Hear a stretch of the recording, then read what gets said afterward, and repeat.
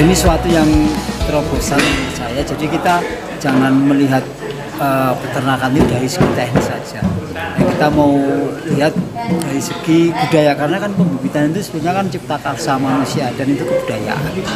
Ya, kita harapkan dengan teman-teman tadi budaya mudah bagaimana bahwa kita punya uh, lokal wisdom atau kearifan lokal yang perlu diangkat.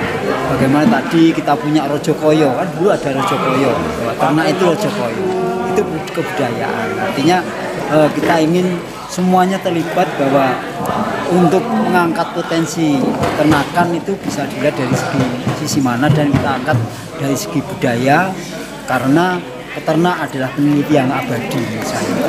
Jadi ada harapan-harapan untuk masyarakat bersiap baik yang di apa di selatan di atas maupun nanti yang di bawah gitu. Iya betul.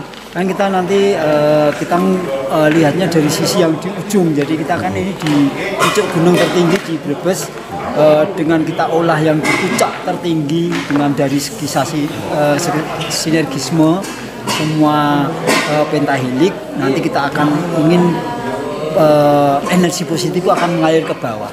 Jadi kita ingin dari ujung ke ujung kita bangun, kita satukan, kemudian akan menjadi satu untuk uh, menjadi sesuatu di tengah-tengah. Jadi artinya kita mau bikin smart village dulu, smart village, smart smart, smart village, kemudian nanti akan menjadi smart city.